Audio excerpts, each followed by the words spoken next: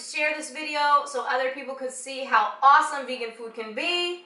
Oh, that kind of rhymed, and I didn't even do it on purpose. hey, welcome back, you guys. So if this is your first time stopping by, go ahead and hit that subscribe button and the little notification bell right next to it. That way you'll be notified whenever a new video goes up and you won't miss any delicious food.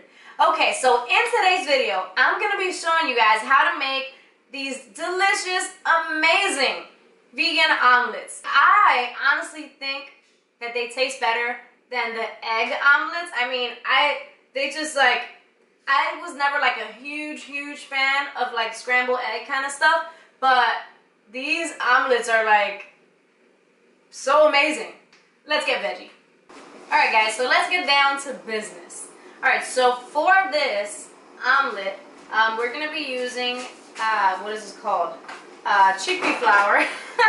so we're going to be using a half a cup of chickpea flour, water, and then we're going to be using our paprika, uh, salt, pepper, onion powder, and garlic powder. The full recipe will be linked down below. And then we're just going to go ahead and whisk this up. Alright guys, so for our veggies, I've already chopped up half a red onion, one red bell pepper, and a handful of uh, button mushrooms. And then we also have half of uh, vegan sausage. I'm using field roast chipotle, Mexican chipotle. This is my favorite sausage, um, vegan sausage, so I always like to toss that into like my omelets. So we're gonna go ahead and start off by throwing in uh, one tablespoon, roughly a tablespoon of uh, oil into our pan. Next we're gonna go ahead and start tossing in our veggies.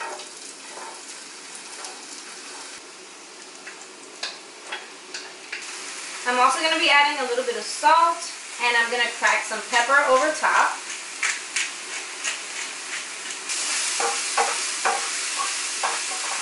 And you want to cook these until they become like nice and tender, the onions become translucent. Next I'm going to go ahead and add in our uh, sausage and I'm just going to go ahead and kind of like crumble this in. It's super messy. But it's also worth it because it tastes so good. Alright, and with these sausages, these field roast sausages, you just want to make sure that you don't overcook these because then they get like a nasty taste to them. But you just want to make sure that you kind of like cook them, but like basically you don't really have to cook these. You're, you're, you're basically just warming these up. You don't want to like burn these and have a nasty taste to them. So you just want to, that's why I kind of like cooked all my veggies until they became tender before I threw in our sausage. Alright, and once our filling is ready, we're just going to go ahead and put this to the side. So moving on to our omelet, I'm just going to go ahead and give this a quick stir to make sure nothing like kind of like settled or anything. So a quick stir, and then in a medium pan, I'm just going to go ahead and pour about half of this batter in. It's about half. And you're going to want to kind of like move this around in a circular motion to make sure that the whole pan is like nice and covered. I have the heat here on medium low because you just want to make sure that everything cooks through all the way. So once this becomes kind of like dry on that side, you're going to go ahead and flip it over. Alright, and next I'm going to go ahead and put in our filling.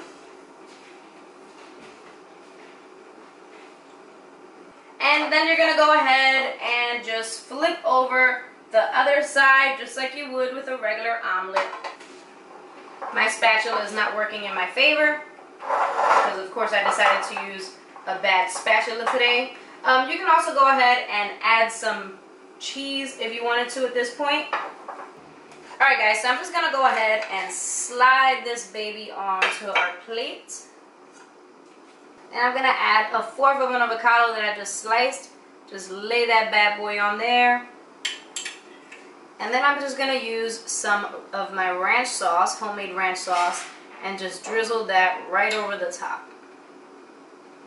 This just adds like a little freshness and yumminess to our dish. And last, you can go ahead and add a little dying leaf of cilantro because my leaf looks like it's dying. But, there you have it. Alright guys, time for the taste test cam. So, this is just like so amazing. Ah. Mmm. You guys.